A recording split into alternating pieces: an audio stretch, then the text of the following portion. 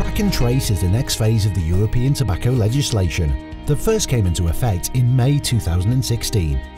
It will require tobacco manufacturers to place a unique code on all tobacco products, including individual packs, outers, cases and pallets, to ensure they can be tracked throughout the supply chain. JTI will be on hand throughout the whole transition to help retailers and wholesalers take all necessary steps ahead of the deadline.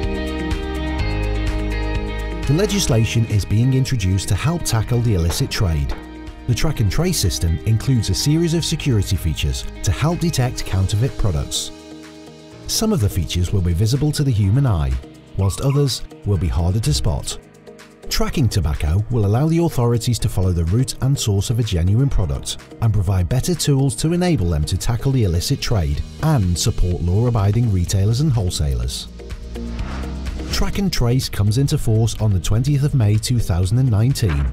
All cigarettes and roll-your-own tobacco that are manufactured or imported into the UK from the 20th of May 2019 must use the Track and Trace system and will require a unique identifier code wholesalers and retailers will be able to continue to sell cigarettes and roll your own tobacco manufactured before the 20th of May 2019 up until the 20th of May 2020 without using the track and trace system. After the 20th of May 2024, track and trace will extend to include all other tobacco products, such as pipe tobacco, cigars and heated tobacco products. The track and trace legislation will have implications throughout the supply chain to varying degrees. Before the 20th of May 2019, retailers will need to apply for two codes, an Economic Operator ID code for their business and a separate facility ID code for each of their premises where they sell or store tobacco products. From the 20th of May 2019, they will need to provide both codes when purchasing track and trace compliant stock. Wholesalers will also be required to apply for EOID and FID codes. They will also need to ensure they are ready with all necessary equipment to be able to scan tobacco products and transmit the data to the repository system. Off-the-shelf solutions are available to purchase, or alternatively wholesalers are free to create their own solutions or update their existing systems to become EU TPD2 enabled. Whichever system they opt for should be tested for compliance ahead of the legislation coming into effect.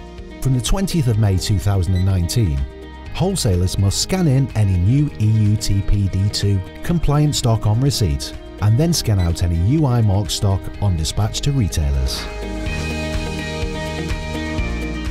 The codes will be located in the black box on the base of the pack for RMC and in the black box on the closing side of the RYO pouches. Security features will be added to the cigarette packs and the RYO packs. Whilst there will be changes to the packaging, JTI's products will remain the same. Vaping products that do not contain tobacco will not be affected by the track and trace legislation. Do you have a question about track and trace? We're here to help.